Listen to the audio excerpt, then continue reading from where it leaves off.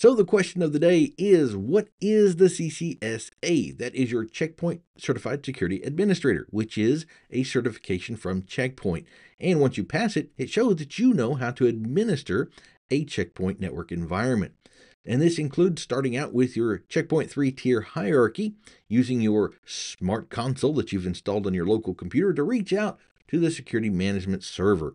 And from there, it can manage multiple security gateways or just one if you wanted to.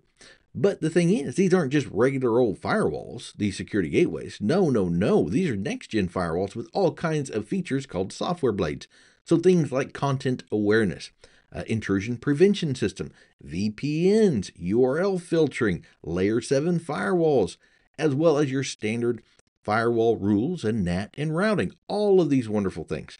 So if you are interested in the CCSA or even learning about Check Point, stop on over to cbtnuggets.com where I have a course on this exact material.